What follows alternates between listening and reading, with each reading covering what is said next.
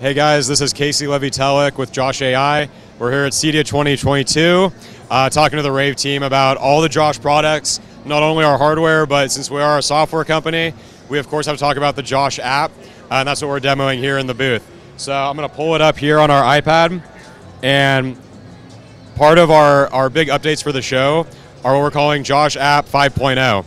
Uh, the first new addition that a lot of our users are going to see is what we're calling our Home Intelligence Dashboard. So what the Home Intelligence Dashboard is showing us, it's showing us our currently active devices. So we have a light on, a shade open, a TV on in the space. Uh, we can see our recent activity as well.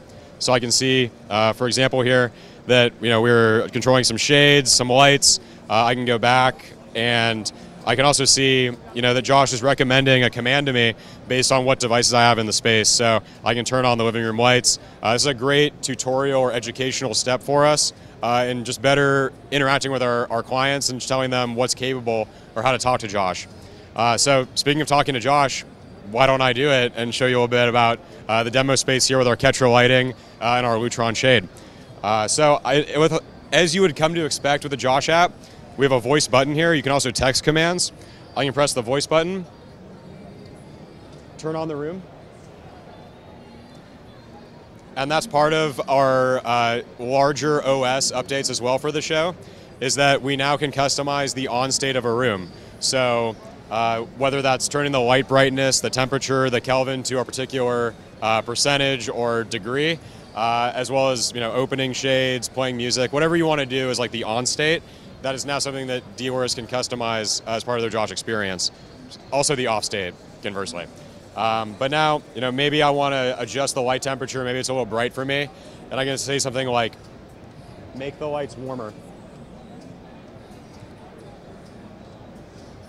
And now you'll see that it's getting a little more orange, a little more. The hue's changing a little bit here, and then I can go. And when I go to my light slider, and now I can change the Kelvin here. Now we're making it a little cooler. I can adjust the vibrancy, maybe the brightness.